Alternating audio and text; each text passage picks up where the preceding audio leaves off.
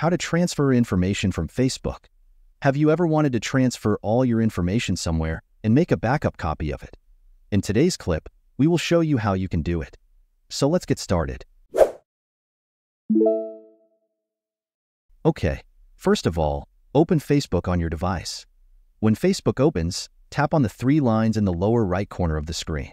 Here, find the Settings and Privacy section and tap on it. In the section, select the Settings option. All settings will be displayed here.